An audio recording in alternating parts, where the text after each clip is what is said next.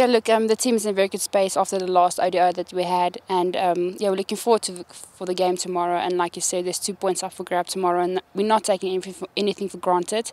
We know what a good team Pakistan is and can be, so um, yeah, we have to hit our straps running tomorrow.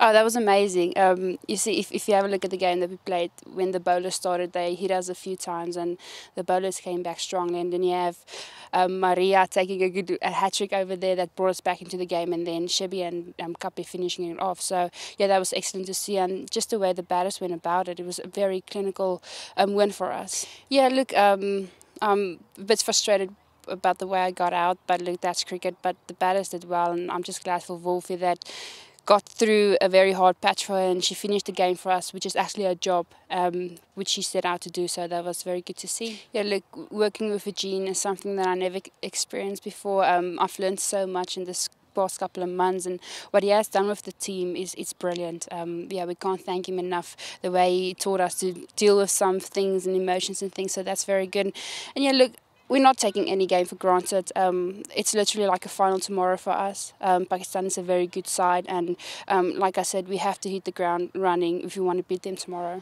Uh, yeah, look, they're a very heavy spin team, and um, I think we're better with the bat. So hopefully, if we execute our plans that we set out to do, we will um, come out on top.